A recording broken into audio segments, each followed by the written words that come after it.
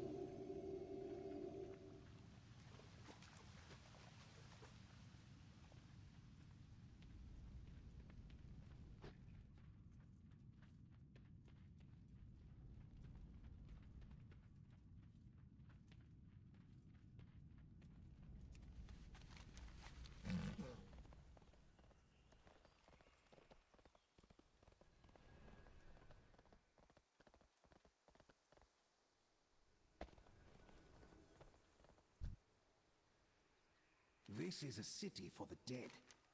I was hoping